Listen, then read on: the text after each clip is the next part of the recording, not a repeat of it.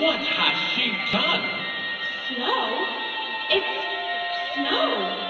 In July? Are you all right? Did you know? No. Look! It's snowing! It's snowing! The Queen has cursed this land! She must be stopped! We must go after her! Wait, no. You? Is there sorcery in you too? Are you a monster too? No, no. I- I'm completely ordinary. That's right, she is. In, in- in the best way.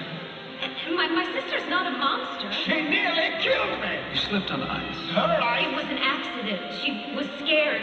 She didn't mean it. She didn't mean any of this. Tonight was my fault.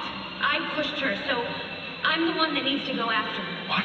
Anna, no, it's too dangerous. Elsa's not dangerous. I'll bring her back and I'll make this right.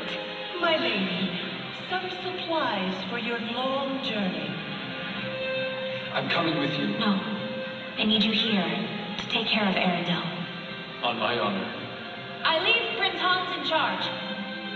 Are you sure you can trust her?